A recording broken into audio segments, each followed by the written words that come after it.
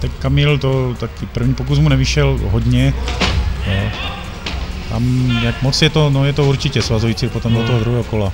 No, je to svazující, pro mě osobně je to hodně svazující, protože nastupovat na jeden pokus s tím, že nemám nic zapsáno,